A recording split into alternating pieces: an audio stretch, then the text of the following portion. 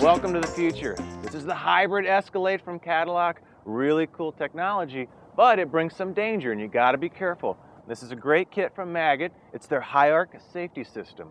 Now, you're dealing with 12 volts, you can put some test meters on, you got enough resistance in your skin for that 12 volts. But somewhere around 49 volts and you're gonna start having problems. Well, these orange guys right here, they can carry up to 650 volts. So you can imagine what kind of damage it can do. So the kit includes, these are class zero gloves. Now this is a rubber glove, just like a lineman you see working on your power lines, but this is fragile stuff. You can't nick it, tear it, or poke it. So always protect them. The kit comes with these nice leather protector gloves. So when you get a you know, first responder on an accident scene or in a tech shop, you go back in the back, you disconnect your batteries, you test all your voltages. Once you know everything is dead, then you can pull your gloves back off and get to work. It's a great way to keep yourself safe.